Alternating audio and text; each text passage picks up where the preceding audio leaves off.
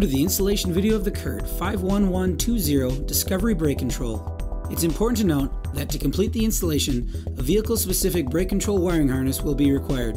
These are the tools necessary for the install. First locate a suitable mounting location. Once you've chosen a mounting location, use the mounting bracket as a template and mark the hole locations needed to secure the bracket. The area behind the mounting location must be clear, so nothing will be damaged when drilling the mounting holes. The Discovery should not be mounted near a CB radio or other RF transmitter. Secure the bracket into place with the two provided self-tapping screws. Be careful not to strip the holes by over-tightening. Mount the brake control unit in the bracket using the provided machine screws. Now that the brake control is mounted, it can be connected to the vehicle's wiring using the proper brake control wiring harness.